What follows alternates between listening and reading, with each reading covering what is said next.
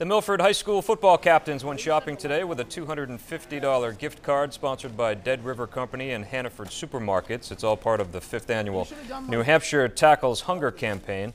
Milford will be collecting this coming Friday night at their home game against West. The Spartans are collecting for the Share Outreach Food Pantry.